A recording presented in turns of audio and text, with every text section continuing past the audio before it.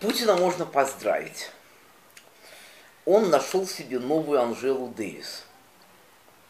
Э, на этот раз Анжела Дэвис называется Сноуден. Э, очередной разоблачитель ЦРУ.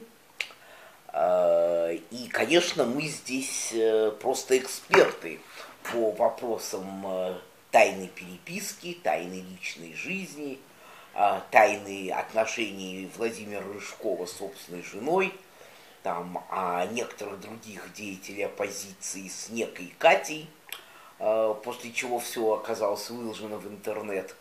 И в качестве экспертов мы, конечно, строго осудим американцев и уже предложили этому Сноудену политическое убежище в России. Как доктору Хайдеру, там Анжеле Дэвис и очень многим – дурак будет Сноуден, если на это согласится.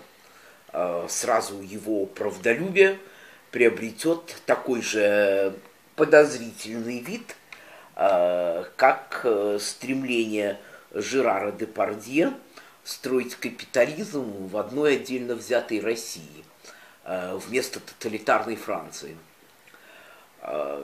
Конечно, ребята заигрались, но, с другой стороны, они там оправдываются, что безопасности вы хотите, а, а как же нам э, террористов выявлять? Э, ну, в общем, в Соединенных Штатах никаких катаклизмов не произошло. Все костят ЦРУ и ФБР. Весь процесс открыт, конгрессмены работают.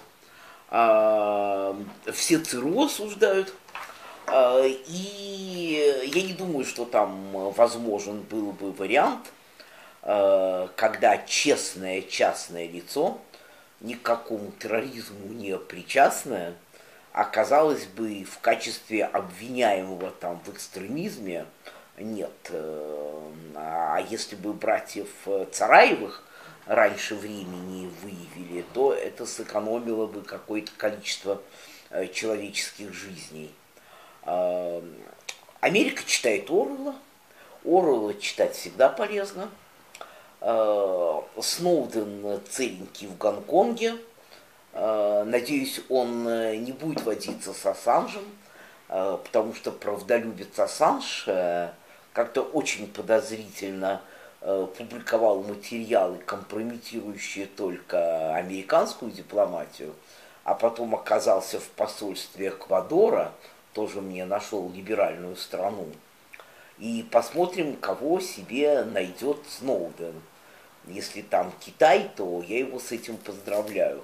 Но реакция нашей власти, она просто сногсшибательна. Ну, так же, как история с Анжелой Дэвис, которая, положим, трепала языком, э, ее поэтому и выпустили быстро, но водила с черными пантерами – и произносила разные глупые речи насчет э, вооруженного восстания, будучи профессором, кстати, университета э, против э, диктатуры и тирании в США.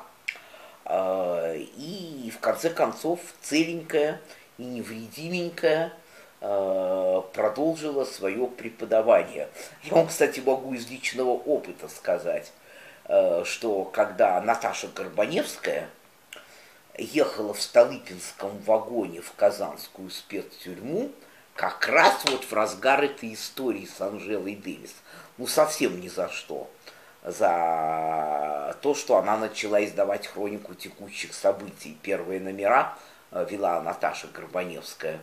То даже конвой, который не принадлежал к числу больших антисоветчиков, сказал, э, э, познакомившись с ней поближе, делать-то нечего в долгой дороге. Вот они и послушали.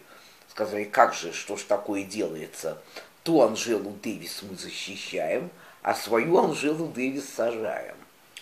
Так что Путин, конечно, очень рад, но на месте Обамы я бы не особенно смущалась и привела бы кое-какие фактики из нашей российской практики – как мы здесь соблюдаем тайны личной жизни.